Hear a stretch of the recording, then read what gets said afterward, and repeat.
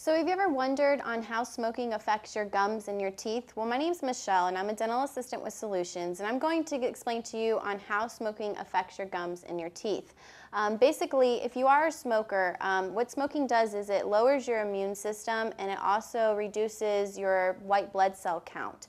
Um, your white blood cells is actually what um, protects your teeth from infection. Um, it fights off bacteria and plaque. So if you tend to be a heavy smoker, you're more susceptible to gum disease, um, tooth decay, due to the fact that you're not producing enough white blood cells and it's not fighting off uh, the plaque and that bacteria that's in your mouth.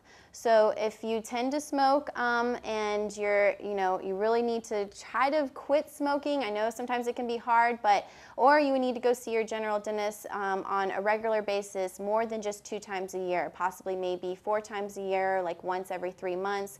Therefore, they're able to keep your teeth clean and able to scale out the bacteria and the plaque that might be underneath your gums. Um, if you leave that in there, like I was saying, the white blood cell count is very low, so your body is not able to do it for itself. So you need to go to your general dentist so therefore they can more clean your teeth um, in a better manner than what you would be able to do and that what your body and your immune system would be able to do. So once again, my name is Michelle and I'm a dental assistant with Solutions and I just explained to you on how smoking affects your gums and your teeth.